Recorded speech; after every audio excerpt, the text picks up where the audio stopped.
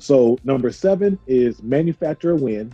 And what I mean by manufacture a win is as a coach, you know, you set really ambitious and audacious goals, but sometimes those goals are so outstanding yeah. that you're not it's going to take a while to get there, right? So just the idea of ending practice with a touchdown, that's manufacturing a win. Or uh. kicking a ah. field goal to end your walkthrough, right? That, that's giving yourself mental manufacture wins. All right, the next one is evaluate your team relentlessly, and that includes firing yourself if necessary.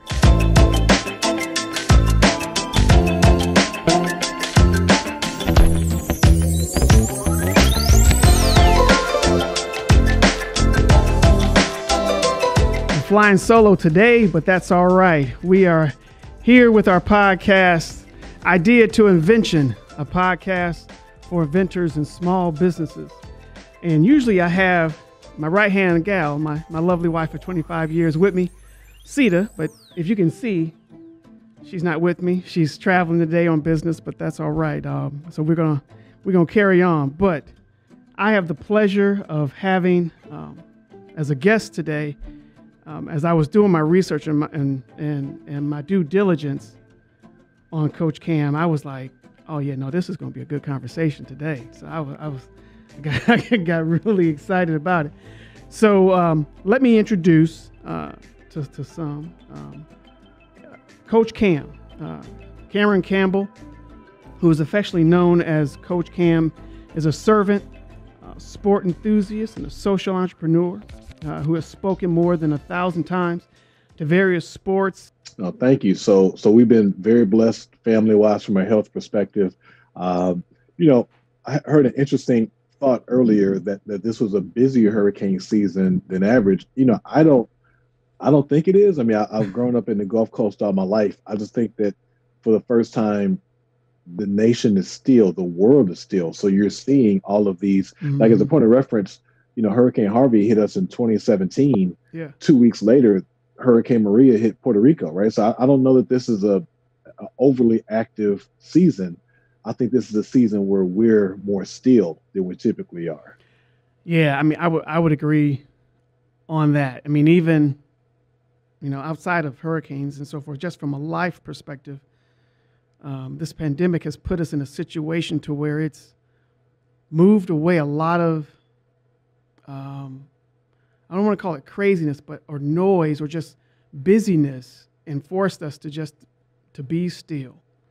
And right. and and and as as by being still, it just made to your point, made things more prevalent of what's what's happening in, in the world. And so, yeah, it, it's it's definitely a, a, an interesting time. So, if you could, um, give give our, our audience because just just to kind of give you a background of, of what we do um, my wife and I, uh, my wife is Sita and, and, I'm Garrett, and so she she invented a hair clamp, and we ended up have we, we created a business called PuffCuff, um, and it was it was created based off of a necessity. She at one point in time used to relax her hair like most sisters you know did back in the day, and that's what they grew up with, um, and realized that she was having a lot of uh, medical issues, um, and she was in between touch ups and realized those medical issue, issues kind of went away.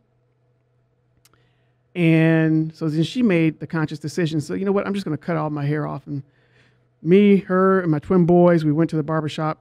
We all got a haircut. She got a little, a little tiny, tiny fro. And, um, and from that point, her hair started growing and she started feeling better, no ailments, and realized she wanted to keep her hair, her natural hair. Um, but in that process, uh, came the fact that she couldn't find anything on the market to help style her hair. Everything was mm. there for straight hair. Um, and so after a little bit of time of searching and figuring out and getting tired of using shoestrings and bootstraps and everything else to tie up her hair and getting headaches, um, she had an idea um, to create a hair clip. And that hair clip was shaped in a circular fashion um, to where it had a little bit of um, a little bit of teeth that they acted like fingers and it was concave for the head so that when you put it in, instead of the hair clamp holding your hair, your hair held the hair clamp in and it removed stress, it removed breakage, it right and, and, and as as we started to grow and and sell from 2014 to now, um, we found ourselves in a position to where we reflected on as business owners and starting small a small business finding information and getting information about what path to travel what what road to go down mm. when it comes to building your business we were finding certain folks were like well yeah you know what you can have my time for x amount of dollars we're like but wait a minute but it's just we're, we're not trying to steal your business or anything that has to do with your business. We're just trying to get some information. Um, and we got to a point where we're like, you know what, we're, we, we're going to create an avenue to where we can provide this information that we feel should really be um, for free to uplift other entrepreneurs other business minded folks and, and, and have them be able to come to a single place where they can hear um, attorneys, where they can hear um, financial planners, where they can hear um, commercial real estate agents, where they can hear business uh, coaches, and they can begin to get information and tools to help them build their businesses. And that's why we created this podcast, From Idea to Invention. Um, and so, with that in mind, of educating and and that's why I, I got when I was reading and doing my due diligence on what you do, I was like, yeah, no, this is this is right on point. And plus, you know, I'm you know, I'm I'm an athlete, athlete buff. I'm you know football and everything. And just reading your background, I'm like, man, I'm, I'm really excited for the for the for the conversation. So, if you could, Coach Cam, give us a synopsis of of of who you are, your business, and your in your overall journey so that so our audience can understand who we got. Yeah, no, I will. And in fact, I appreciate that extended intro to the the vision of the podcast because if if we if we could earmark 20 minutes at the end, mm-hmm. I literally just jotted two hours ago a concept for a new course.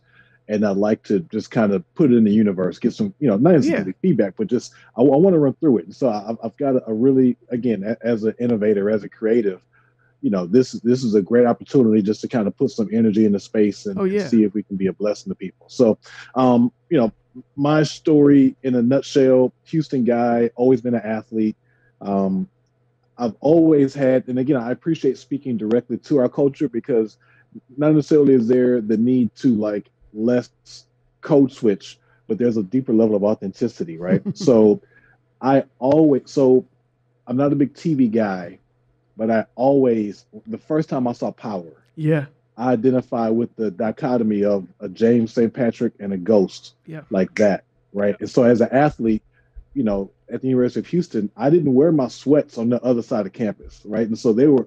I was a president of two student organizations. I was very involved in the campus.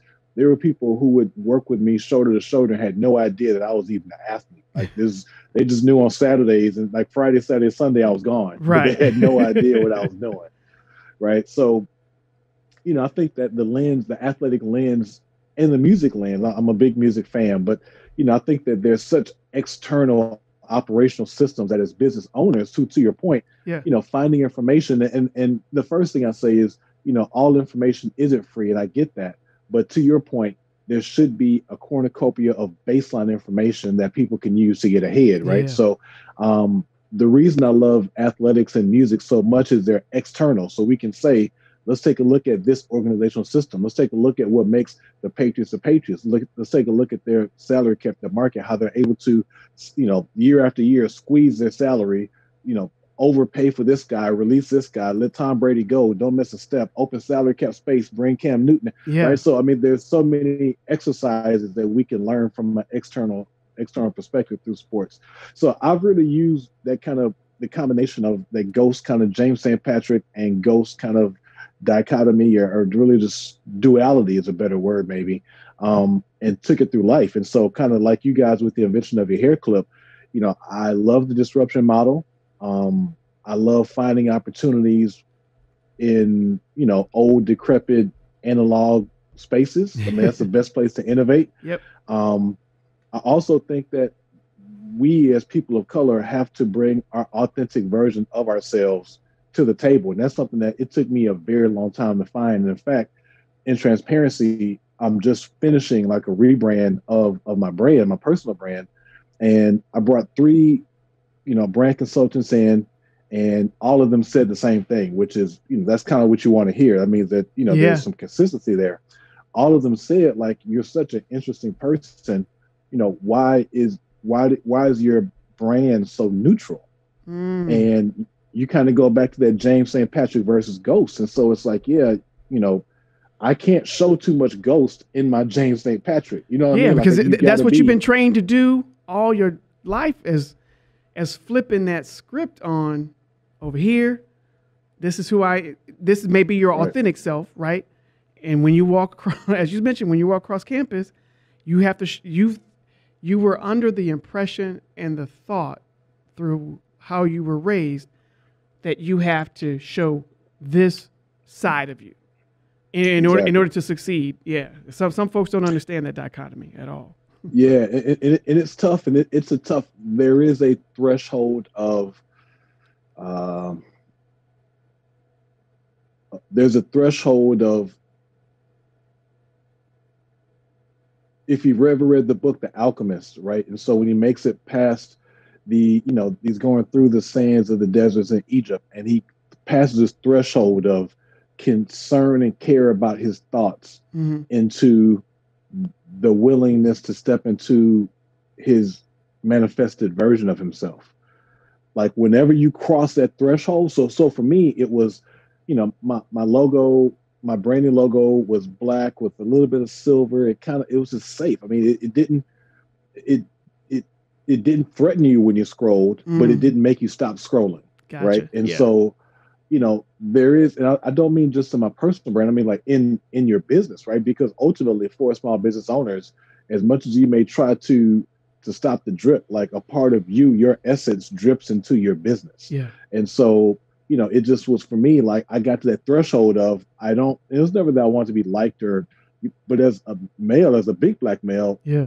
you you've always had this non-threatening space you have to keep yourself in and i've got to that point to where it's like this is authentically me um and this is what you got. And so yes i collect watches. Yes i enjoy champagne a couple of nights a week. I smoke cigars on sundays. Yeah, i'm a texan. I drive a ford. I shoot guns. You know what i mean? So it's like like this is who i am. Yeah, and so, you know, what it does for me, and when you talk about like brand and and product and merchandise and just creating, you know, they, they say your your vibe attracts your tribe, right? And so instead of having this like super safe, you know, kind of Boy Scouts honor thing, yeah, it's like, look, if you enjoy, you know, reading a book a week, if you get up at four o'clock in the morning and start your day, if you enjoy, like I've got now, um, I I do enjoy spirits, and so I kind of went from like mixing my drinks to like I'm a mixologist. I got a few drinks I make in house, yeah, but now I'm at a point in my diet and my workout where it's like,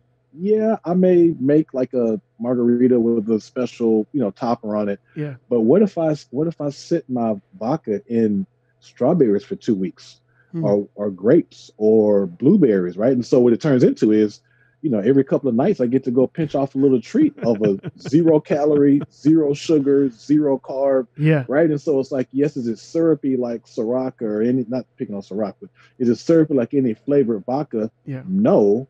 Does it taste like straight alcohol? No. It has. It does have a squeeze of you know you can taste the fruit, fruit. in it, yeah, and it's like it's authentic. So so it, it became like that version of I've got to go back in all of my businesses and rebrush, repaint everything that I've created because it had a coat of safety, which that safety was indirectly in authenticity. And so I'm just re I'm literally rebrushing everything with, you know, a deeper authentic version of myself, which as a person who is extroverted but but relatively introverted when it comes to your private space, yeah, there is that that line of like, you know, I kept this because it's me, but I can't be committed to sharing my gift with the world if I'm holding back. So was I mean, was there a point, or is there a point because you're in it, where you had a sense of hesitation of doing that, of bringing that authentic, right? I mean, because I, mean, I would imagine you would have to have had a moment of, okay, I- for my business, for me to bring my authentic self, you have to have thought, okay, well, is this going to impact my bottom line? right? In in in the growth and in, in where I want to take my business. So so did you wrestle with that at all? Yeah, I, I wrestle I wrestle with it every day, right? So like again, like the idea it's 75 here in Houston, it's you know like chilly by Texas standards. right, so, right like 75, that's good. Man, the second I could put I guess hoodie is pre-hoodie season. Yeah. Right. So yeah. like again, perfect example. So I understand this is a podcast for professionals. I understand the demographics of it, the psychographics of the people who listen. You know, yes, I could put on a blazer and a shirt unbut- untied, or it's like, you know, pre regardless of COVID and where we are, yeah, like, you know, as far as mobility, like what would what would Coach Cam t- typically be wearing on a 75 degree day? A hoodie, right? and so it's like, yes, I've got a tuxedo here and a jacket here right, and a right. coat. Yeah, I've got those things. I wear those things sometimes. But you know, when you wake up today and today is hoodies and Jordan day, put on hoodies and Jordan. And, and it, it's um it, you you do have to retrain yourself. And I will say this. Um last uh so spring of 2019, I hit this, you know, a a non-Christian or non-believer of anything would say what I hit was my 10,000 hours Mhm. and I truly achieved mastery. As a person of faith, I it was the first time that I ever made ever prayed an abundance prayer. Now I'm, I'm, I'm trying to choose my words carefully because Yeah. um, my mom jokes that she's a, a Catholic Baptist, right? So like I didn't we didn't grow up like Lord bless us with a house. and Right, right. us," right. It was just like make it through the day, just give us enough to make it through the day. So so last uh last last spring, um it's pre-Lent season, so it's like maybe February, and I'm Yeah. kind of wrapping my head around what I want to give up for Lent. And Yeah. I take Lent really serious. It, it's an uncomfortable season, but it's supposed to be uncomfortable, Yeah. right? And so, for the first time, eh, or that I could think of, I'll say it's the first time, I prayed for for overflow. Like Mm. I, I've never been like an overflow prayer. This is not where my kind of spiritual Right. thing is, you know Yeah, yeah. and um, you'll appreciate this story. So I'm praying for overflow. I mean, I pray for abundance. I'm not quite comfortable with it. It's, it's, it's out of my zone. And so the next day, I'm, I'm headed to the gym. That's kind of my time with God. And the next day, I just felt the impression of, you know, like, okay, like I'm, I'm here. I'm here for everything you want. Yeah. Like, cool. Like, I don't know why you haven't asked for more. You know Up until Like, now, but cool. Yeah, I'm here. Cool. And that felt good. So the next day, I'm like, okay, so what do I need to prepare to sacrifice for Lent?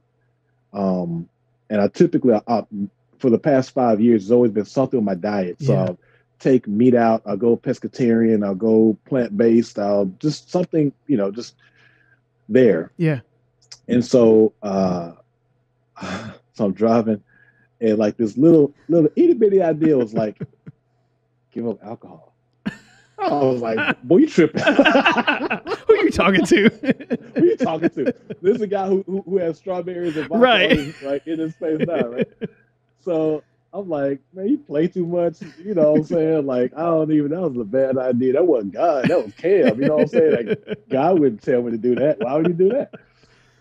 So like that day, I just kind of like wrestled with it, not taking it too serious, but just like wrestling with it. And then the next morning, um, it was like, okay, so what you gonna do? Right? Yeah. It was kind of like the impression on me, and I was like, you know what? If if you're if you're presented a challenge, and your first response is to defer that challenge, that's a challenge you need to take on. Yeah. Like like that's the challenge. And you know, I did it. I mean, again, I, I it was not hard to do. I think I think the one thing I realized was how frequently, how easy it is to drink socially, right? So yeah. You're at a game this day, you're at a concert, you know, friends are over, cheese and cracker, you know, just like so before you know it, it's like, wow, like it's not that I even drink a lot. There's just so many opportunities to drink To drink. Yeah. right yeah so so that was the beginning of like seeking abundance from god and I understood obviously that there is some type of sacrament or a betterment that should come with that, right? So it's not just being opportunistic, but then it kind of became like, well, what what do you really want? Mm-hmm. Like is is what you've been wanting, and not just from a secular money thing. I mean, a lot right. of what I do when I talk about one is in the in the community and from a philanthropic perspective. But it's like as bold as you think you are, yeah. and as big time as you think your dreams are, all that exercise in the truck on the way to church taught I mean on the way to the gym taught you was you've been playing small ball this whole time. Yeah. This whole time. And so, you know, what one of the things that I excuse me declared that I wanted was, you know, to put the James St. Patrick and the Ghost down because it's tiring. Like I'm tired of speaking at this dinner yeah. this day and having to work and you can i'm sure you can relate to this as a black man right? But like is this shirt too loud? Does it right. go with this not even matching but like is this green tie too aggressive with this hue of yeah. gray? Yeah. Right? It's just like no i want to wear some like pink pants today and i'm going to wear you know like just like that's who i am. And, right. and when you when you book me because I, I although i have been reserved i've been authentic the entire time this is what you get. Mm-hmm. So, you know, I may be at a country club full of like stuffy conservatives, and I, I, I may be in a red blazer with a white bow tie. You yeah. know what I'm saying? Yeah, like, yeah. If that's what, if that's what I'm rocking today. Yeah. And so, um, you know, being able to put down Ghost and James free liberated me to just be me all day, like all day. And it, it, it's uh, you know, from a creative standpoint, it, it is the freest I've ever felt in my life. So, and, and that, that that's a, a, good segue into a, a, question I have in regards to your path, right? Um, because I, I would imagine, com- so coming out of college, right? You, you had in mind the path that you wanted to go and, and I, I want to understand because to me it's it's it's just it's just really interesting to where you're at now and you're you're re-evolving yourself um, from where you came from. So because I just want to understand. So when you started, you're you know wanting to be Coach Cam in essence, and and and do the business development and, and the speaking and so forth.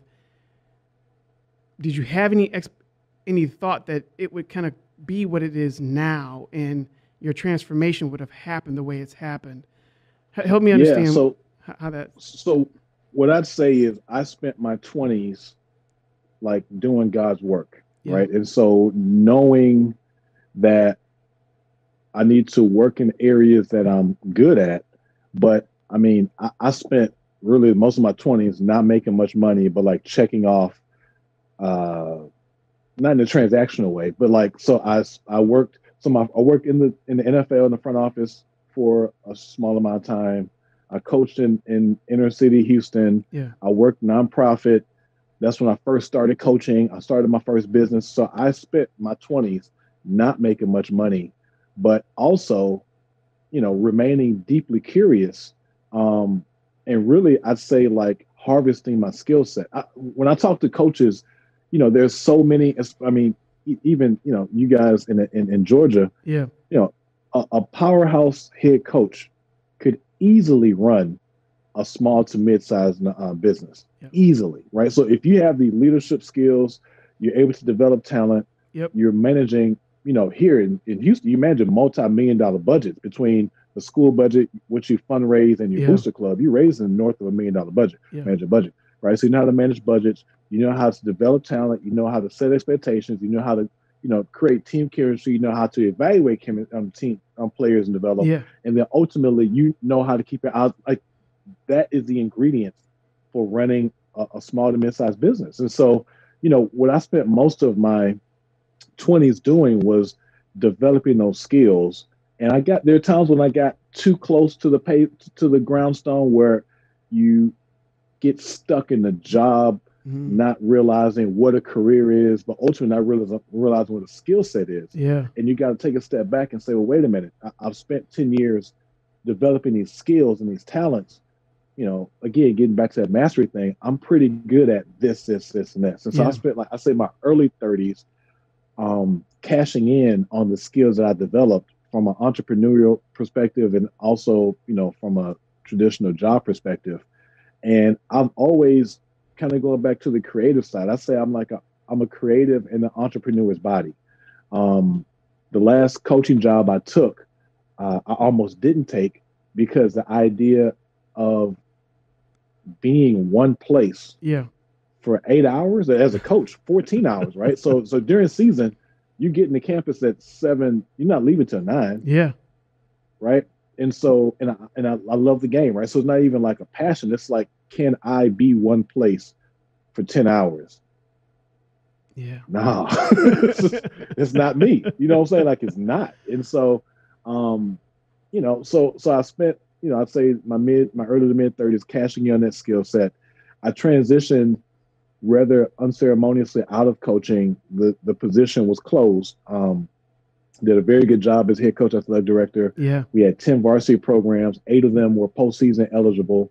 Um, but the school itself was just like, hey, you've done a great job, but we're going to shift to be a more of an academic space, and so we're going to put the AD role as within the counselor suite. You uh-huh. can stay and uh-huh. coach and, and teach PE, and for me, it was like what felt like a stripe was literally like the shackles being broken. Mm. Right. And so the moment she said PE, I was like, yeah, no. like, no. That's not what I signed up for. right. You don't pay me this much money, and it's not what I signed up for to blow my whistle at lunch duty. Right. So, you know, so I hate that, you know, this has come to an end, but it was the most it was the biggest blessing in my life biggest blessing in my life man you know what and and i can relate to that that story because i had spent 22 plus years in corporate america um, um, i have a, a an it uh, engineering background and i was was at, at bank of america um, and had a portfolio of 50, $54 million portfolio, controlled all infrastructure for our call centers globally. And, um, and it was literally in 2017, Father's Day weekend, where I got my blessing. Because I had prayed for, um, I, I either need, needed to change organizations within Bank of America or I needed to find another financial institution where I could um, be, you know, in, increase in, in, level, in, in, in, in, in job, and in, in, scope, um, or I could come and be full time as a CEO for PuffCuff. And just like it, you know, you had no control over what they were going to do at, at the school that you were at. I had no control over what was going to happen. God literally removed the first two things, and mm. it was it became so clear and prevalent. No, this is where you need to be, and the moment that that happened, and I accepted that, um, and my wife and I we sat and we prayed and said, "Okay, God, if this is where you want us to go, we're all in." Literally, year after year, the advancement of of, of what the company was, and, and it was it was literally beyond beyond my control. And so yeah, no, I can completely relate to when you say, "Man, that that was the blessing to to push me to where I, I was supposed to go." One one of the uh thank you for sharing that. that. That's a testimony by the way. Like don't I think as sometimes we downplay our testimonies like yeah. like that is a big part of your testimony so thank you for sharing that You're welcome um I am a very I try to be very in tune with my ego and yeah. understand what are ego moves and what aren't ego moves. And and and if I make an ego move, like be okay with it, right? Like, okay, this is the ego move I'm gonna do. Yeah. Cool. So if it doesn't go as planned, I can't be surprised. It was an ego move, right? Mm-hmm. One of my ego moves, bro, is to send when I get to my FU money number, which you know I, I, we can talk about in a minute, but when I get to my FU money number, it's to just send a beautiful floral arrangement. No salt, no shade, but it's like thank you for firing me. like, thank you. I am blessed on blessed on blessed. I would not be here if you would not have relieved me of my duties. Like I cannot thank you enough. And I don't again, I don't mean that I'm, I'm joking saying it, but it's like, no, thank you for that. I yeah. needed that. Man, okay. See now you you don't brought up the fu money. I need to understand what what that is. But I want to. Oh, but but wait yeah. wait. But so so keep that. But I want to ask you this question okay. though, right? Because we have it. We have folks who who listen to our podcast who may be at a moment of decision of do I make do I make that jump? Do I how as a coach, how would you coach somebody to make that decision? To to to, to go yeah. into what may, they may have seemed or thought for last you know years, man, that's just too tough. That's just too risky of a move for me to go out on my own, or that's just too risky of a move for me to to, to jump into consulting and, and do what I what I feel God wants me to do. How would you coach them to make that decision?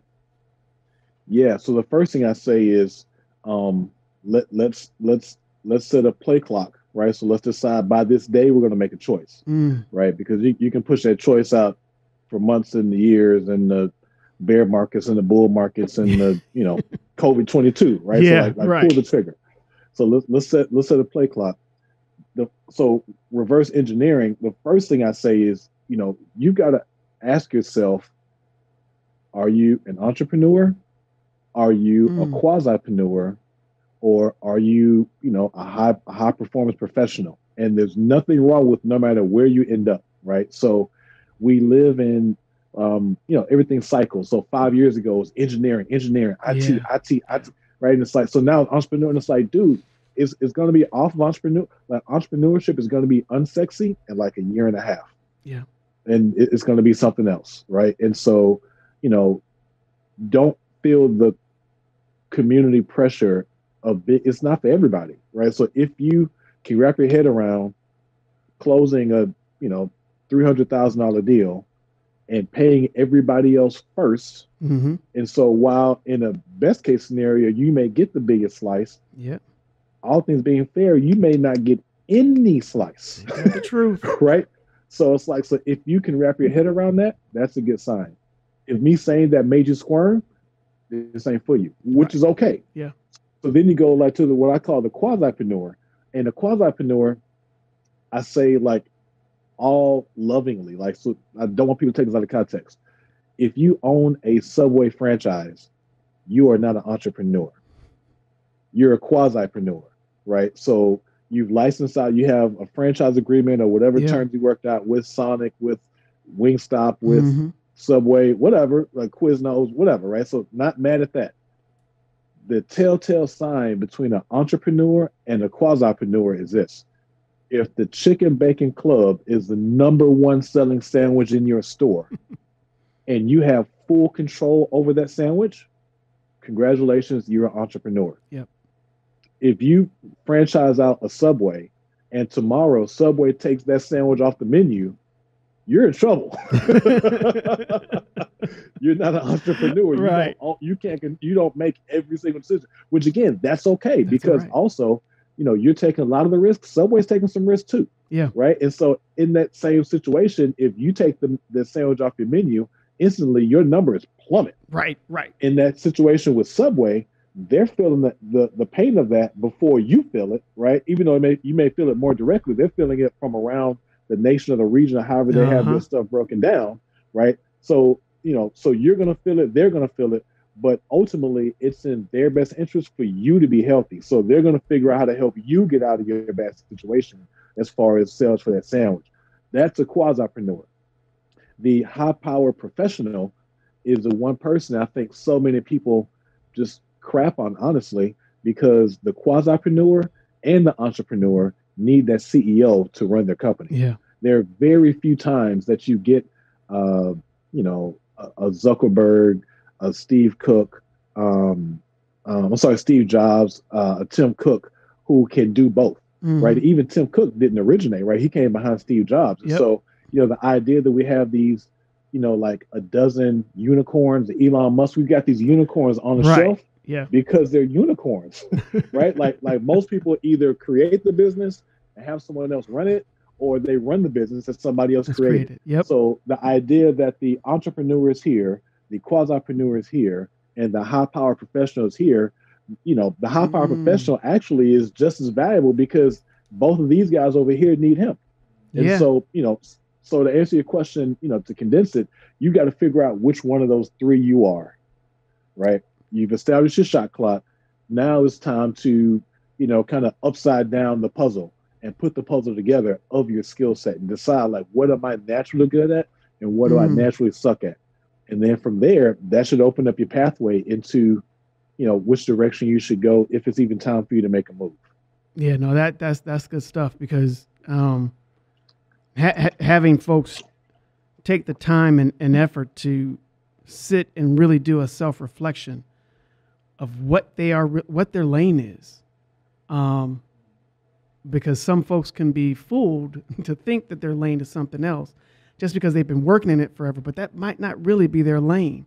So yeah, to your point, you they need to really sit down and and I, I like to tell folks, you know what, you need to write down and, and, and make it tangible of, of, of what what your skill set is, what you enjoy to do, what your passion is.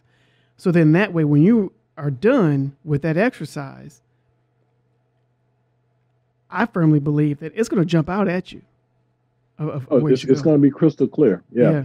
the direction you need to go is crystal clear. And in fact, I talk about that in the course. You know, even even my even my speaking business, great example. So I've been speaking for uh, a little over a dozen years. I've spoken everywhere from the Falcons to uh, the Dolphins. I've done the NBA Combine, spoken the Super Bowl, Final Four. I, I've you know I've done a lot of speaking, but then you take a second and say, okay, well, you've done so much, and it's a natural skill set that you have this high level of proficiency. Yeah. Well, what else can you add to that, right? So how do you how do you scale the impact? And going back to the rebranding, how do you how do you scale giving more of Coach Cam, not from a capitalistic perspective, but from a ecosystem perspective, right? So how do I give people more of the gift that I have to give? Yeah. and so that's when the idea and i've typically worked in the um, um, service space not as much the product space so i wrote my first book last year and you know it, it does well i sold i think i'm almost at 5700 copies Okay. um, i'm self-published and so i'm like that's That's those good. are pretty yeah. good numbers Yeah. you know to be move to be moving solo right and so i'm coming off the book tour in fact i was in i was i think i did like atlanta charlotte i did the chitlin circuit just kind of through the south right uh, and so um, at every stop, yeah. somebody would ask me, How do you do so much? Like you got a construction company and you have these, you know, philanthropic community projects and, you know, family life and work and, you know, you have hobbies, you play golf. You, I'm, I'm like learning French right now during Yeah. COVID. So, you know, how do you uh, do this stuff? And, you know, I, I didn't have a very good answer other than I win the first quarter of my day. I get up at four o'clock. I have a very consistent routine that I use to, to kind of, you know, get me through my day. And I get back to my desk. I'm talking with my team. We're kind of debriefing on the year, setting goals for 2020. And, you know, we look at this film and it's like, you may have something here. Like, like this, there may be, again, where old Coach Cam is playing it safe to the cuff. hmm You may have, you may have developed a product that you need to get to the world through authentically being you. Right. So this idea of winning the first quarter of your day, like we need to get this in the hands of our clients that, that we're consulting Yeah. and going to work for. And so I took like a case, like, like a sample study, about a half a dozen clients, and just took them through this curriculum. That I'm literally, I literally mapped out what I do every day from four o'clock to eight o'clock in the morning Yeah. and and you know put some curriculum behind it and was like execute these exercises and then we talk next week let's check back in when i tell you like the results were like that it- so it, it was almost like going to your doctor and your doctor saying i tell you what stop drinking soda drink water for a week and come back and tell me how you feel Yeah. Like like that kind of change. Yeah. So next week they're like, oh my god, I mean, yeah, the first day I was groggy, but I had so much clarity and I was quiet. I could get my email. I mean, just like just the the, the things that your body does when you go from soda to water. I mean, that's Mhm. literally what you're doing, Yeah. right? So we sit back for like two weeks and we're like, okay, so we, you know, kind of take those people down a course. And they were honestly, you know, inadvertent guinea pigs for for this course. And so now it's like mid-January and we're sitting around like we've got to get this. So it's almost like, you know, you've got to get this to everybody, yeah. right? So yeah. how do we get this to, how do we scale this? And and as a creator, as as an innovative person, systems and processes are not my strength. Mhm. But because I'm so competitive, I've spent like the last year and a half, almost two, just in the system and process space. And so measure what matters, Yeah. OKRs, KPI. I mean, just like Mhm. just I've been in it. And it's it's it's almost like it's given me a superpower from the perspective of, you know, I've got this really good dish in- as a creative, Yeah. but the organization and scale is like the Zatarain's on top. You know what I'm saying? And so it's like now it's really Real good, right?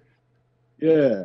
So we, I started writing the course, um, the curriculum for the course, and I actually was set to film it on the very first day of COVID, that March 13th, you know, Ah, when okay. COVID hit.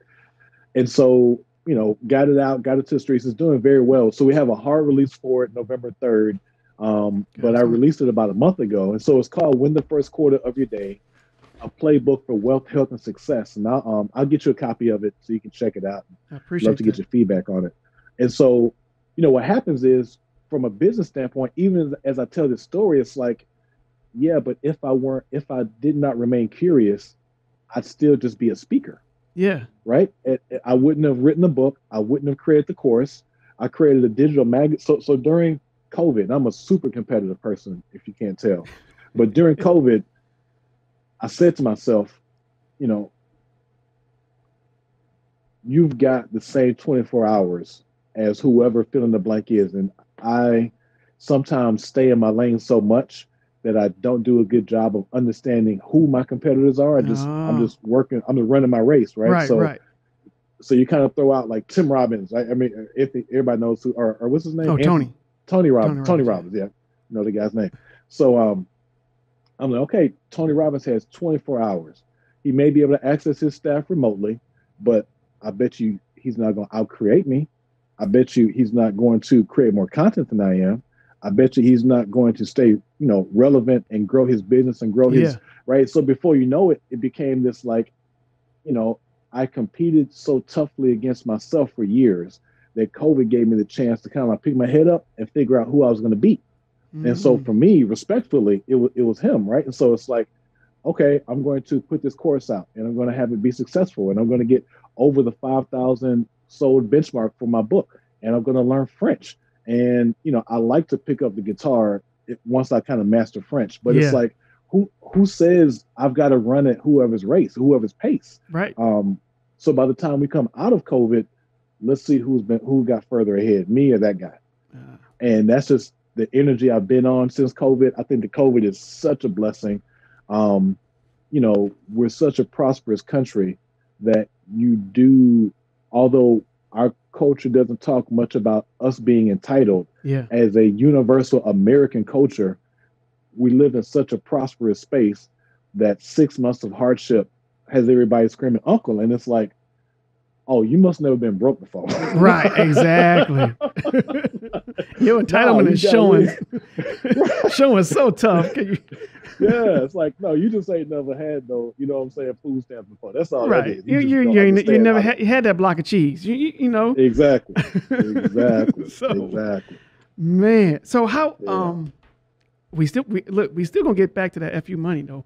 I want to talk about Hmm. that and the, the last few moments of, of the idea that you wanted to talk through. But Yeah, um, as you've been growing, because I mean, you you said people every when you were doing your your chitlin circuit that fo- folks was asking you, man, how are you doing everything? And as I was doing my research, I'm like, okay, you got courses, you have your your the ways of, of, of interacting with you, your book, the the Crown and Glory magazine, and and you're speaking, and, and you're just, yeah, dude, you you got a lot of lot of irons in the fire. Um, but in order for you to do all of that, you have to have worked and formulated a a good team around you to allow you to do that. What Yes. what was your approach in building that team? Because see the- see the the fundamentals that that I'm sure you're about to share, other entrepreneurs or small businesses or consultants need to understand how to think through and focus on how to build that surrounding team to ensure to allow them to do all the things that they're going to need to do as an entrepreneur. Yeah. So so the first thing I say is one of my natural skill sets is team building, Yeah. right? And so um it, it does bode well for what I do, but it's something I naturally do well. And I say the first thing in team building is um, create an amazingly beautiful uh, desired reality, right? And so I don't mean like, you know, bamboozle folks, but I mean like what is your I, if everything goes right, Yeah. what does this organization look like? Mm. Um, so that's one. Two, put yourself at the very back of it, right? And so I, I try to use as many analogies as I can. I'm a big reader, so I, I'll reference um, a few different things. But what made the Wizard of Oz go was the wizard behind the behind the curtain, right? So you didn't see the wizard. The, the Wizard of Oz was such a majestical place Yeah. But the wizard was behind the curtain he didn't he didn't see the majesty he worked it Yeah. and so you know if you're a part of the coach cam team Mm. i i'm here like i'm not so so again the personal brand my personal brand may be up front Yeah. cam cam is here right so like if if my copywriter doesn't have everything they need if my social media guy doesn't have what he needs if my sales guy doesn't have this if if you know whatever whatever whatever i'm ultimately this goes back to servant leadership my job is to get to the back of the bus Yeah. and push the bus Yeah. right so again like i may be the hood ornament like you're selling me as a product as a brand Uh-huh. this thing is not about it's not about me like like it is about creating a place where we get to work hard we get to play hard we typically take um semi-annual team retreats and we'll go to vegas or we'll go to Yeah. you know wherever and just you know like enjoy success as a team people work harder for the team you, you know the idea of playing for coach nobody plays for the coach no. like you play for the team so Yeah. you got to create such an environment that people just love to be around it and i think uh you know three words that ego trips us up with that are so beautiful is i don't know Mm-hmm. right so like how how are we going to hit this month's you know quarterly projection or, or month's projection i don't know. What what chemical epoxy do we need to get this flooring up so we can put the wood down? I don't know. Yeah. right? And so instead of instead of having the false bravado of i know everything i'm quick to tell you i know what i know. What i don't know i don't know but there's nothing you can't learn. Right. Right. you can, you can teach almost everything but you can a person can learn everything. So i don't know but but we can figure out how to find a solution. And i think that humility um you know sets everyone at ease especially i've got some interns you know some college kids yeah. and you know they try to be perfect and it's like dude you're literally half my age. I know you don't know. Right? Like but i want you to figure out how to learn. I'll and i think that's another big key. Man, uh, that is, yeah, you, you, yeah, you, you, you said a lot, and, and and your your number two about putting yourself at the end, um, and really living into and leaning into uh, servant leadership, um, and having a sense of humility that is it is not about you, and that it's it's it's about the the, the bigger. that There's a bigger picture, a, a bigger thing at play that's happening. It- just for example, I, um, we're in the process of of of uh, hiring a warehouse manager for our company, and um, I was talking to uh, a candidate uh, yesterday, and um, he was he was like, "Well, wh- what do you?" He's like, "What do you what are you looking for? Wh- Who what really make you say, yeah, that that's the person?" And I said, "You know what?" Um, I- I need someone that understands that it is not about him or her. Um, that understands that we as a company, as as we as we formulated our mission and our vision, and that it it is it is literally beyond the four walls and the walls of this physical location, and what we want to do globally and out, outside of this, you have to be able to come in and and and and humbly just be like, yes, it's not about me. Yeah, I'm here to do a job, but it's not about me. It's about the bigger, the bigger thing. And um, and he was like, oh, I'm like, yeah. I, I said it's. I said I you know I, I practice servant leadership, and, and when I'm working with someone, they're if, if if they are if they're getting the impression that there's an air of coming off of me that I'm such and such boss, then I'm doing something wrong because that's not right. that's not what it's supposed to be. Or, or I, I feel I failed to be transparent enough for you to see who I truly am. Yes. Right. And, and so what, what I say to that is, so again, like I am, I, I embrace, I think the artist side of me, yeah. you know, in the last year, really writing the book. That's what did it. And so it's like, you know, yes, you know, there is there are hard skills and whatever, but you know, I really think that when you get like right above Chick-fil-A fry chef, like like as far as like responsibility. Yeah. You've got to have a mindset that you're an artist. Right. So like like so for example, you know, hiring a warehouse manager means again, you have this skill set. You pay attention to detail. You know, one percent may not sound like a lot. One percent is a humongous amount. So yeah. you've got to be like a pencil pushing, accurate, mm-hmm. round down, not up kind of right mind frame. Yeah. Right. But at the same time, you've got to physically be feeling like Michelangelo drawing on the wall. So when you're in your spreadsheet is when you should be in sublime. You should be no happier yes. than than indexing and analyzing numbers. Like like you should you should see my call and be like, but I'm in my spreadsheet, right? like this is this is this is this is my art. Yeah. And you know, it it is a atypical ideology, but if you can't if you can't see it that way and adapt to that work culture, you can't work for me. Right. Right. You can't work with me. And so like, yeah, going back to a project manager on a new construction project that hopefully we get awarded on Monday, you know, it took him years to understand, you know, number one, it's my job to get you everything you need. So, you know, you, the question you should not ask me is how do I do this? The question maybe is how do I find the answer? Mm-hmm. But more importantly, here's what I need to do my job. Cool. But then the idea of, you know, I'm not asking you, you're not a CFO, you know, your job is is concrete slabs, wood, yep. grass, right?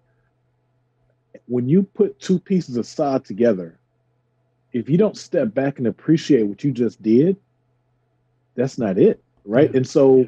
yes, you may bleed into 10 hours overtime in the week, or, you know, mm-hmm. we may have to figure out how to make some paint stretch somewhere right. else, right? But if, if, if at the end of, of a half a day's work, when you're eating your lunch, if you aren't basking in what you just created, yes, you're not you're not the right fit for this team. Yeah. Yeah, because because you're, you're, you're not you're not in your right spot where you're supposed to be. You're not you're not in the right spot. And so so and I say the fry chef thing jokingly because you know there are so many people who work in food service and whatever. Yeah. Who you know who are putting a pickle on the Chick Fil A sandwich, who should be who should be frothing off the top of a of a of a of a of a uh, what's the banana foster right? Yeah. So like so so you putting that pickle and butter on that sandwich gives you no more pleasure, gives you just as much pleasure as you know creating a, a fine fine you know five star dish Michelin meal. Yeah. Like it's just you haven't had that opportunity to get here yet. But you know, again, if if if this isn't where you're supposed to be, then either let's find a place for you, you know, within the organization or find somewhere else. But you should enjoy the art you make. You should be proud of the art you make. Yeah. Yeah. Oh, okay. So let's let's let's man, that's some good stuff. Let's get to your fu money. I, I, when you made that statement, I was like, okay, I need to hear what that is and help me understand where you at with that. right. So so the first thing I'll say is, as a coach, and this applies to business as well. There are no new schemes. There, there are no, you know, the four two five, the three four defense, yep. the nickel defense, the eagle you know, the, you may move a safety over a tight Mhm. end and call it something else. It's still a nickel defense, right? Right. So, um, I, I'm definitely not taking credit for FU money. It, it uh, I heard it from a guy named Jim Collins. Uh, I'm not sure if you're familiar with the FIRE community, um, financially independent, retire early. Have you have you heard? no, of I that haven't group? heard that, but I'm gonna find out. So though. it's it's it, it's a subset of millennials who have a goal of saving half of what they earn so they can retire twice as fast. Hmm. It, it's very it's very aggressive. I use a bit of it like in my in my wealth strategy. yeah, Um, I like I said, I, I like I like champagne too much to be you know what I'm saying? Like like whatever, right? So so the so the idea of F so so the idea of financial independence by the fire community's definition is I can wake up tomorrow and not go to work because I've saved 25x what I need to live for the rest of my life. Right. Ah, And so that that's that's FI, FI or financial independent or fire yeah, financial independent, retire early. Then you've got your, you know, paycheck to paycheck, hand to mouth. And again, like it's not about, it's just like going to the gym. Nobody cares where you start. We are all out of shape when we Mhm. started, right? But it's like acknowledging I need to go into the gym. So Yeah. paycheck to paycheck is here, fire is here. Your FU money is like here, right? So you could not go back to that job, but maybe you don't have enough to sustain to get to fire or or to be fi. yeah, But when you get to your F, well, when you get to your FU money, you don't take meetings you don't want to take. You don't go. You don't Yeah. take appointments you don't want to take. You turn down clients that aren't the right fit. You fire clients. If you you know want to jump and play golf for three days, you do. You extend the vacation a day yeah, it's just you know it, it's it's a difference um it's in its essence fu money is the prequel to compounding right and, and compounding I, I feel like is so uh, Hmm. overused right so so at the def i define compounding as consistency plus momentum right that's that's what co- Yeah. compounding is from from money to anything right like compounding is consistent momentum and and um and um and focus right to get to where you need to get to. So the idea of getting to fu money and everybody has their own fu money number. You kind of figure out what that you figure out the life you want to live yeah, at its best case, right? So like all the you know trips you want, all the toys, all the I, I like get all that stuff, and then you multiply that number times ten, right, or maybe times twelve for a little al- allotment, and so you know let's just say that number is hundred thousand dollars a year, Mhm. right? This is to keep numbers simple. So I know that for me to live the best version of my life, my kids are going to whatever school they want to go to. All I got a chef, all that kind of stuff, whatever you want. Yeah. If that number is a hundred thousand, then you've got to get to 10x theoretically, 10x that number, Yep. and then live off of the 10% return that you're investing. That's when you've reached FU money yeah, right? So, so in that example, theoretically, um, you know, and again, like a hundred thousand dollars is a, a nice living. I don't know if that's like, you know, going to the Super Bowl, but whatever. just just to keep numbers simple. Yeah. So if if the best life you could live, you could get that number to a hundred thousand dollars. If you figure out how to 10x a hundred thousand, that's a million. Well, so once you have that million, you're not living off that million right, you're investing that million and you're living off the 10% yield that you get. That's kind of why I said 12, because Mhm. obviously when in you know, you know, bear markets like this, you know, Right. that the 10 is probably more like seven. But right, you know, all things being fair, if you can find a space where you can get a 10x return, which doesn't just have to be the stock market, it can be launching new businesses, right? So, yeah, you know, again, you talk about y'all's business. If the next bit, you know, the next version of it is the baby cuff, right, right? It was a spin-off company. Yeah, then it's like yes that that is another machine to get you to your fu money. And once you get to 10x it's like yeah i'm not meeting today. I'm not taking that meeting right? And, and, and like that's i've been very blessed to be around a lot of wealth. Some of it professional sport. Some of it is you know texas oil money and it is night and day. Yeah, um, Texas oil money don't they don't take meetings. Like if if it's a if we don't they don't take non-transactional meetings. So if I'm not here to pick up a check, if I'm not here to give a check, if I'm not here to give a mm. dividend back, we can't Zoom, FaceTime, text, email, but you're not getting me. Right. I may send somebody, but you're not getting me. That's what FU wow. money is. A non-transit. I like that. yeah, I want to work to get to that point where, hey, look, it has to be That's a it. transactional meeting in order for us to compensate. but but think but think about it though. So so not only is it natural in life the same way that the the higher you escalated in your career, in your faith, in yeah. your hobby, right? So so let's just take the hobby. The, the better you got at bowling, you didn't hang out with the scrub Monday night bowlers like they, they no longer became your circle of influence. So if Wednesday night is the pro league night at the bowling alley, right, your colleagues are all pro league Wednesday night guys. Yeah. So so when you say I don't take non-transactional meetings to the Monday night bowler, they're like that guy's a snob. Mm-hmm. When you say it to the Wednesday night bowler, they're like, shit, I don't either. right. And so and so I mean, all all of our life, it all works together if we're slow enough to notice how everything is tied to, to, to everything else. Wow. Okay, my producer just Isaac just told me we got three minutes, but you but so let's let's real quick. Three minutes, come on, baby, we going. I know, man. this guy's killing me. Look, look, this hey, guy's killing me. Hey, it, it, I, I, wish I could control it, but he just gave me the three. I'm like, oh, dang. Uh, um.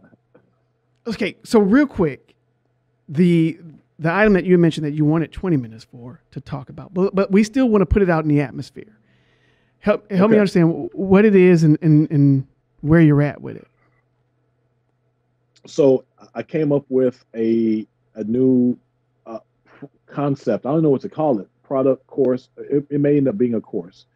Um, I find that most conversations, difficult things are easy to understand when they're relational like this, right? Yeah. So the idea for this course, uh, I just wrote it down. I don't have it memorized yet. Is is called the Gridiron Wealth Strategy. Become the head coach. Become the head coach of your capital. So what I do hmm. is I, I just, this morning, right? And and we I, I t- tell you, engineer, I, will pay for the overtime. We got to get this thing going. um, this morning, I just kind of mapped out these twelve the 12 steps required and the 12 steps that I'm taking, right? So again, I don't, I'm on my path to wealth. I'm, you know, like well along my path. Yeah. I'm not claiming, you know, like I'm not on the Forbes list. I'm not trying to act like, right, you right. know, I got all of life figured out. but at the, but at the same time, I'm far enough along to say I see if I'm on step 12, if I'm, on step eight out of 12, yeah. I see the seven steps here I can see those last four steps. Like yeah. I, I, I see now what I need to do. So um, I'll just run through them pretty quick. So the first step is decide what success is. And so what I, let me take a step back. What I'm doing here is I'm speaking from a wealth accumulation standpoint, and this is so important to our community. That's why I was like, we just I just want to put this out and yeah. we can pick it back up if we have time. But so I'm speaking in a wealth accumulation space I'm also speaking through the lens of pro football. So it's very mm. it's very easy to pick up and put down. Yeah. Right. Yeah, yeah. I'm, I'm not trying to talk over nobody's head. So the first thing is decide decide what success is, stick it on the wall, reference it daily, but don't obsess over it.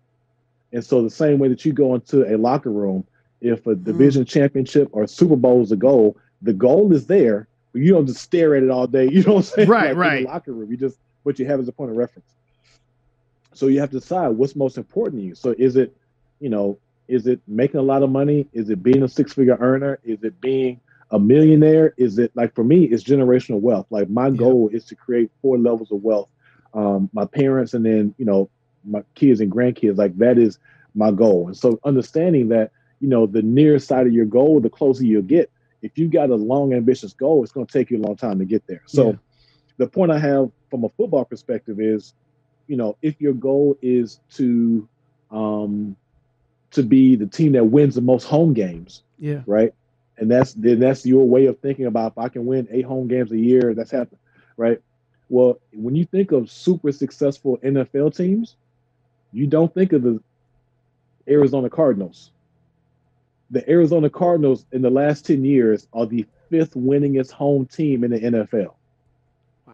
So that is an exercise to say you may want to adjust. So if your goal is to be a six figure earner, that ain't gonna get you that far mm-hmm. if if you've got ambitious goals. Right. Yeah. So just winning home games is cool, but I mean, how how how are the Cardinals doing? You know right, what I'm saying? Right, like yeah. not great.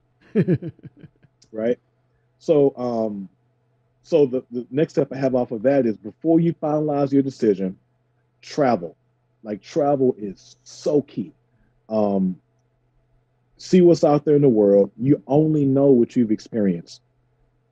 As a, now, as a, the football spin on that is, as a GA or as an intern, you want to intern in several different organizations. You don't want to just intern with one club, and you know all you know is the way that that club exercises and runs their facility. And so right you want to be able to experience a number of different places. Um, so what I have behind that is, you know, you'll learn different styles of play. You'll better understand, you know, and and you want to learn from the gamut. And so, from a financial perspective, you want to learn from the Robert Kiyosaki, but you want to learn all the way to the the Dave, what's the guy, Dave Ramsey, right? Yeah. And so, you know, there are some folks who speak to Robert Kiyosaki, leverage that, leverage that, leverage that. There's some people who who speak to Dave Ramsey and don't own a car so you pay it off and mm-hmm. all I mean, so no matter where you are yeah if your goal is to learn the money game you need to learn the the entire the game entire game yeah yeah. Um yeah so that's that's once. I've, I've got i've got quite a few more. I'm not sure how we are on time. I want to be respectful of you guys. Yeah we're good. We're good. Okay cool. So the second one is um watch and simulate games to decide where your natural strengths are. And so this is one of those hacks where if you're if you're if you can slow down enough, the hack is in front of you. So when you go to ESPN Classics and you're watching a game that you don't remember who won the game, that's what you want to watch. So again, as a coach, like if I were to de- if I were to develop a young coach now, I would say sit in ESPN Classic yeah. and watch the Peach Bowl from 91, right? You don't know who won the game, but when it's 31, hit pause and think to yourself, what play would I run? Mm. Right. And that's great simulation. And so, oh no, he ran something else. Well, let me rewind it and see why he made that choice. Wait, who's that coach? Oh, that's Bobby Bowden. Oh, he's one of the winningest coaches, right? So it's like, well, wait a minute. So that guy probably isn't wrong. I'm learned I was probably wrong, but you have to be willing enough to be wrong enough to understand why different guys made different choices. Now, the other side to that hack, and this is where it kind of gets crazy if you're willing to like be creative enough, is the benefit of learning that way yeah. is you also you also get you get 31 from the offensive perspective but you also get 31 from the defensive perspective mm-hmm. so you can say okay this is what florida state did let's see what you know like georgia state did and then right. or georgia tech and then so you can kind of see like both sides of the coin yeah um yeah and, and, and then also i feel like that gives you um you know the opportunity to understand how you like to make money, right? And so one of the things I think is is really big is understanding are you a Wendy's 99 cent burger earner or are you a steakhouse earner, right? right? And there's nothing wrong with either one. Right? So so you can you can sell, you know, volume and sell a hundred dollar burgers or you can hmm. sell five twenty dollar steak burgers. Yeah. Right? And so whichever one you naturally gravitate towards, you need to understand that. Um, the next one is make it. This one's quick. Make a declaration. Decide at that point: Am I an offensive guy or am I a defensive guy?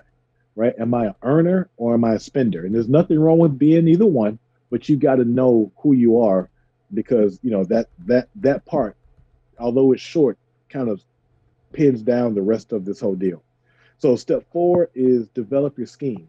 So, you know, lead with your natural strength, design your schematic that um, you use to achieve your first principle. Understand that, like the money game, football is about assignment and alignment. And that's kind of going back to what I was talking about playing the 4 3 versus the 3 4. Mm-hmm. Neither deep, I mean, both defenses will get you stops if you put people in the right position. Yeah. Right. And so, just like with earning, right? So, you know, ha- having a you know high volume, low margin business will earn you the same way as uh, a low low volume, high margin it's just they come in different ways. So you got to understand, you know, can you stomach, you know, going Yeah, three yeah, which one you can do. closing the deal. Yeah. Yeah. Ah, okay. You got to be able to understand that. So, um, and then the example I use there is is the 1999 Rams, which was the greatest show on turf. Isaac Bruce, Yep. uh, uh, big game Tory Hunt, uh, Torrey Holt, um, um, Kurt Warner, Yeah. right? That was offense. But then the very next year was the 2000 Ravens with Ray Lewis Oh, and yeah. you know, that Ed Reed, that defense, right? So one was offensive, won the Super Bowl, one was defensive. Mm. You can get there with both, but you got to know as a coach which one you are, ah. right? But I go, my, my Um, question though, in that thought though, as Yeah. a coach, can you be both or can you master both? Right, you know, so that you can be flexible in either either situation. Yeah. So it's it's so funny you say that. I put that further down. I think I have it in number nine. But when you get to that place of like mastery, you look at Bill Bill, Bill Belichick is a defensive coach. Yeah, Like he's a defensive first guy. It's London under Parcells. He's a defensive guy. But his IQ, he got to the point of mastery to where he's also a utopian offensive guy. right. And so it's like, you know, he, he became, again, we talked about, you know, the Steve Jobs, the unicorns. yeah, He became a unicorn. He truly is a unicorn. So the answer is yes. They're just so far and few between that we kind of put them on a special shelf. gotcha. Okay, Yeah. Um, so the next one is decide. and We kind of talked about this, but decide your style of play. Do you like to dink and dunk? Do you like to, you know, kind of check down, check down, check down the way the Titans kind of play, Mhm. or do you like to just kind of strike it like the Rams? Right. So the Rams now it's either Yeah. incomplete or it's a touchdown. There's no in between. Yep. Um, now the next one is really key, and you kind of touched on this earlier. Now you have to build out your coaching roster, right? So it's one mm-hmm. thing to be the head coach. You got to get assistant coaches and coordinators under you, right? So now that you know what kind of game you want to play, and before you begin building your player roster, decide who will develop your talent. Put those coaches in proper positions. And I've got a few examples of, you know, earning coaches, saving coaches, and investing coaches that I kind of muse myself after. yeah, And then the same thing with offense, defense, and special teams, right? Um, now this is a big one. Like any like any other kind of talent, understand you must invest in your coaches. Nothing in life is free. Mhm. Books, courses, conferences. This is where most people misstep. They want a championship team, but they're only willing to pay for Pee Wee League talent coaches. Pee Wee League guys are volunteers. so you want to go to the Super Bowl with a guy who's a plumber during the day? right. like no you want a professional coach. Yeah, and i don't mean that i don't mean that I, I don't mean like buy into people's coaching. I'm not saying like you know you need to follow mentors. What i'm saying is model and muse people who are this is all i do right? So like for example um who's an example? So uh jl collins yeah, JL Collins is a is a is a Vanguard investor. That's Vanguard. So it, so investing is his sweet spot. Vanguard investing is all that he works. yeah, He's not he, he's not going to talk to you about earning. He's not going to talk to you about saving. He's going to talk to you about investing. Right. So you want all-star MVP focal coaches developing your talent. So the question you may ask is, you know, who is that talent? Um, and you know, your active roster are your players. Your Mhm. players in building your wealth are your wealth vehicles or your assets, right? So, you know, understand now that you understand your coaching staff and you understand the style of game you want to play, now you need to identify the type of players. And so you've got Ah, a Julio Jones who is super athletic, super long, can catch every ball. Then you got a Tyreek Hill who is short, scat back, throw a lot of screens. He's elusive yeah, right? And the different the difference I will make with that is the difference between investing in real estate and investing in the stock market. They're night and day. yeah, You've got to understand what kind of player you want on your roster, yeah, right? And so, can you deal with cutting an eighty thousand dollar check and sure making twenty percent return, but you're not gonna make it for five or six months? hmm Or can you deal with the everyday slip of the market going up and down, going up and down? Pfizer does this. The president has COVID virus, that Yep. impact, right? So it's like you got to be able to understand what type of players. About players, I mean, you know, capital building assets you want on your team as you build your team. Ah, Um, so number seven is manufacture a win. And what I mean by manufacture a win is as a coach, you know, you set really ambitious and audacious goals, but sometimes those goals are so outstanding yeah. that you're not it's going to take a while to get there, right? So just the idea of ending practice with a touchdown, that's manufacturing a win. Or ah. kicking a field goal to end your walkthrough, right? That, that's giving yourself mental manufactured wins. All right, the next one is evaluate your team relentlessly, and that includes firing yourself if necessary. So, as a head coach, you may say, you know what? I'm the head coach, but I'm also going to double back as a quarterback coach. But your quarterback is trash. Fire yourself. go get go get a quarterback coach, right? So so you may be saying like, okay, I've got this going, I've got my model going. I'm going to manage my investments. I'm going to you know day trade on Robinhood. Right. But you suck at it. So fire yourself. Your goal is not to like, you know, like make more money than you did yesterday. Your goal is to build wealth. So the idea, the idea of Robinhood is is like the easiest. I don't want to use the word scam, but like prepackaged bamboozle ever. Mm. So you think for a second, and this is where ego gets in the way. I'm in Houston, Texas. You're in Atlanta. The fact that me or you thinks that based on whatever information that we can pay for or find on the internet, that we know more about Wall Street than the people who are wrong every day on Wall Street? How does that even make sense? Yeah. Yeah. No, I'm not crapping on Robinhood. I get it, right? So it's like I've got, you know, my I got stocks at Apple, I got stocks in Tesla. I mean, I'm I'm there. Yeah. But the idea of of a day trader outwitting the stock market yes. when people who work 100 hours a week on Wall Street get it wrong all day, every day. so you gotta you gotta take the ego out and say, you know what? I need to fire this quarterback coach, who, happens to also be me, and go hire a quarterback coach. So because my end goal is not for me to be right, but for us to move forward. And again, that goes back to that ego thing. You gotta mm. check your ego. All right, so um, our, our, last couple are now it's time to build out the rest of your front office. And so you're the head coach, you you know, presumably head coach GM because you're also making choices. Yeah. Now you need a director of personnel. You need a uh, strength conditioning guy. You need a dietitian, right? So you need a lawyer. You need your CPA. You need a certified financial planner. You need you need to again undergird your front office because you're playing a forever game. Mm. Um, the next one is um, work the plan and plan to work. Know when to adjust your plan, know when to call a timeout. And great coaches always earn their check in the second half. That's when you make adjustments as a coach, right? So understanding I need to make adjustments. Um, we talked earlier about momentum. You know, the, my definition of compounding is consistency plus momentum.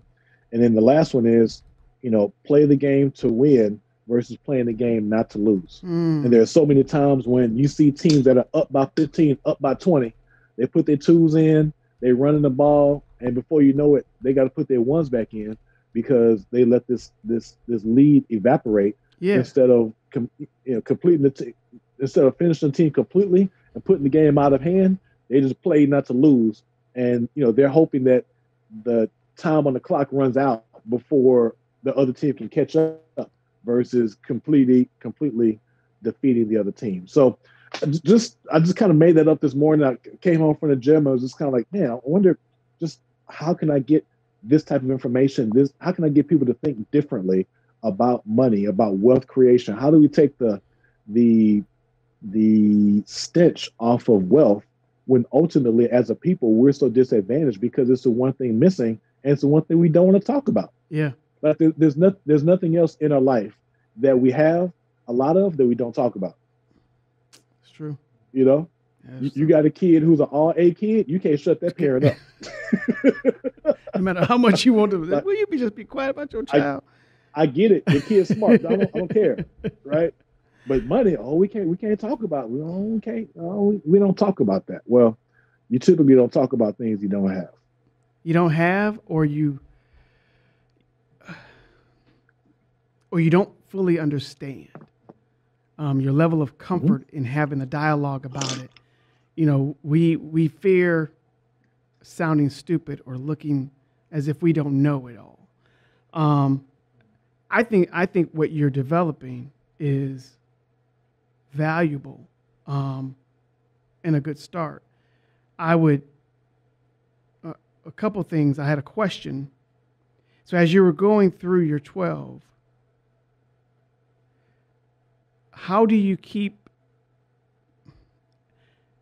as you're having your you know your your your, your person work through these 12 how do you help them keep their end goal in the forefront of their mind right? Because they always have to keep their that that the end goal is building wealth. They, that has to stick there because if you're going through 12 steps somebody can can lose lose what that end goal is. And that because that end goal in essence is their is their moment is is what's keeping them going knowing that they they want to build wealth. That that's that's energizing them. So i would just try to figure out how do you help them keep that end goal in mind as they're working through the steps. So it keeps it keeps them charged. Yeah. So, well, so so it's funny you say that. So the very first the very first principle was decide what success is, stick it on the wall. Yeah. Reference okay. it daily, yep. but don't obsess. And so like that that's the very first thing is you you can't hit a target that you don't establish. Yep. Right. And the easiest way to go off target is to take your eyes off the target. So I'm not going to stare. So it, it's it's no different than you know again being in a locker room preseason, off season. Our goal is a conference championship. I look at it every. I don't stare at it all day. I got I got to take myself back and go put the yeah. work in. But every day when I walk into that to that locker room, my goal is right in front of me, conference championship. Oh, like and so you know that's the first thing. The second thing for me, um, is you know I have these kind of breath thoughts I keep, yeah. and one of them is you know I'm playing a forever game, and so you close a big deal and there's the money there. Do you go buy the e-bike that you could very well write off under your company, right? Yeah. It, it's a company expense. We're doing you know R and D and whatever. Mm. Do you buy the electric bike, or do you pay yourself a dividend and go put some money you know into another business? I'm playing a forever game. Yeah right? And so the forever game for me as a spender talks me off the ledge of making, you know, poor financial decisions.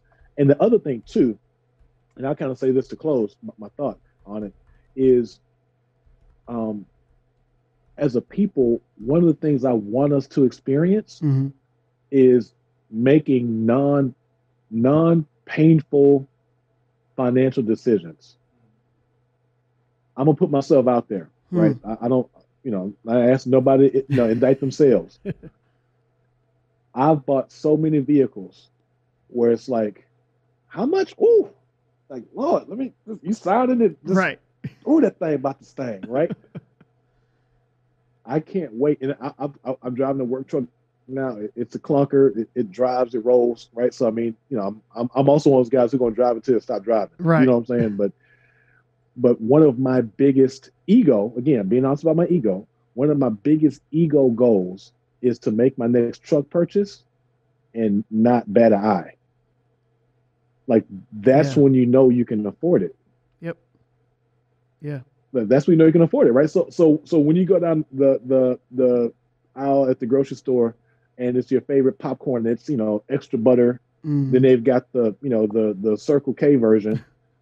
you don't you don't you don't cringe when you buy the extra butter, right? Because you can afford you can it. afford it. Because you can afford it. you know what I'm saying? But but when you but when you at Vic and Anthony's, you at you know what I'm saying Houston, right, and, right, and and and the and the seventy five dollar T uh, uh, tomahawk bone in, and that bill coming, you like, oh, you couldn't afford it, dog. Should have took it to Outback. Right. oh my goodness. So, that, that that is that is like from an ego perspective. I want to. I can't wait to experience making my next truck purchase and yeah. not feeling anything. right. Oh, yeah. But then, but then selfishly, I can't wait for us as a people to experience that. It is so liberating. But you, you know, I can't wait for that. Coach Cam, and I, I know we got to go, but I, we as a, a, as a people have to get to a point where we fully understand that we deserve it. Right? Because if, if you if, if you don't have the mindset that you deserve those things, it'll always hurt. It'll always sting. You'll never get to a point where you're like, where where you'll be able to walk in and pay for something and and, and it doesn't impact you negatively. We have to get to a point where we deserve it and, and understand that no, I, I deserve this. I, I work hard and I can afford it. I've done all the steps that I needed to do. Um, we'll get we'll get there. We'll, we'll get there as a people, but it's it's and I, I think it's no, it, it, it, it's conversations like this. It's taking exactly. your cool. It's going back to your first question. How do you take your cool off and have an authentic conversation? Exactly. And it's it's it's coming it's coming to these conversations ego less, right? I mean, I can sit there and act like I could afford every I I I, I can't, and right. I've been burned by it. I've I've learned from those decisions. That's the other thing too. As a competitive person, you may beat me. You're not going to beat me the same way twice. Nope. Right. and so as I began to rebuild myself, it was like, okay, now I understand what affordability calculators. I mean, I'll say, oh, it says, nah, I ain't worried about it. they tripping out. They don't know me. I'm about to right. And so it's like, nah, bro. Yeah. You can't afford it. Put your ego in check. You just can't afford Put it. Your ego in check. You can't afford it. oh man, so true, man. You know what? We we could we could talk we could talk forever, but um, you know what? I, w- I want to say thank you. This was an awesome conversation. Um, and on, on behalf of my wife, you know what? We wish you much, much, much, much success. Um, and, and, and I can say this with confidence. If I know if I'm if I'm ever in Houston, I know someone I can come and hang out with. And if you're ever yeah, in Atlanta, yeah. man, dude, it, it, ain't nothing but a word, right? So, yeah, um, I do appreciate. This will not be the last conversation. Trust you me, it will not be. Um, and man, I, I just I, I, like like what you said. I, I really, really do.